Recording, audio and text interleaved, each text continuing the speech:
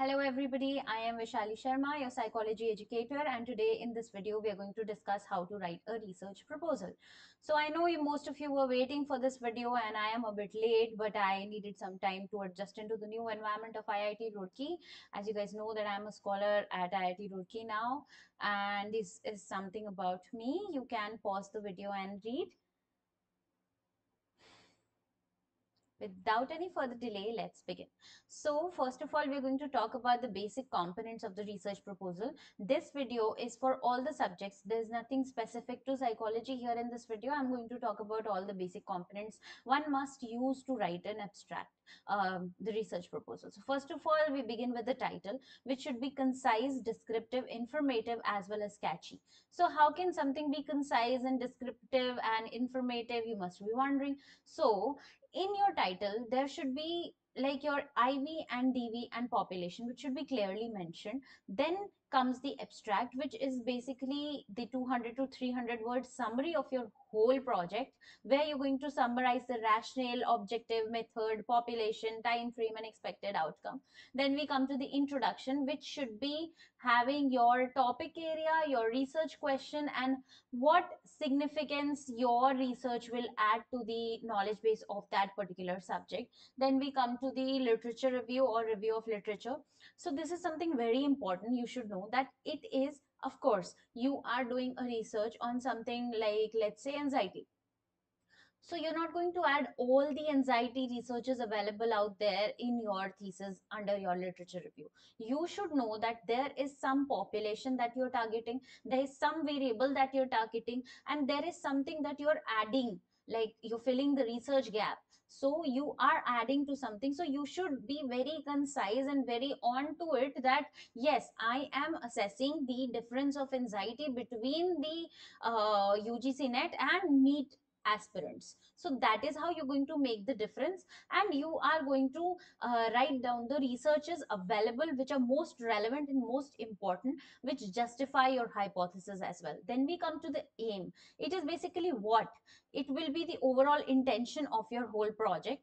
And then comes the objective. So if we say aim is a what then objective is how. How am i going to do that research. So we are going to be very logical feasible and coherent when I, we are mentioning that this is how i'm going to attain or obtain the what of my aim. And the objective so there's this guideline where we write objectives to determine to compare to verify. So if you have been a psychology student you must know that we've been preparing files since grade 11th and 12th and we write the objective to describe to compare to verify. So this is how you write the objective. Then comes the question or the hypothesis. So again if you have been a subject like if you have been a student of psychology or sociology or history or any subject for that matter you know that the definition for hypothesis is the tentative solution to a problem or the tentative relationship between the two variables or more variables. So it should be very clear that what you are stating so what relationship is uh, presented by you under that hypothesis then we comes to uh, we come to the method section in which we are going to approach the question. The question that we have mentioned and the research design then the subject the participant how many males how many females how, what is the inclusion criteria what is the exclusion criteria how are we targeting them what is the sampling procedure uh, is it a non probability sampling or probability sampling? So if we are using probability sampling then which probability sampling? Stratified cluster random sampling simple uh, so we systematic or simple sampling. So all of this needs to be mentioned. And if we are doing non-probability sampling then the type of it which are you using? You're using haphazard convenience sampling or purposive sampling or snowball sampling. What are you exactly using? Or quota sampling. So you have to mention your sampling procedure then the control or comparison group. So what is the difference between the group being tested and the compar comparison group or the control group? So you have to be very clear on that. And then what data needs what are the analytic techniques? How are you interpreting the results and your ethical issues then we come to the timetable. So here we are going to mention the time frame we are using. Like for example, one to four months for data collection. So you you have to write the time on the left and then the work that you're going to do on the right. So that is how budget you can skip. Then the analysis, how are you going to anal analyze your data? If the data is quantitative or qualitative, how is it getting analyzed?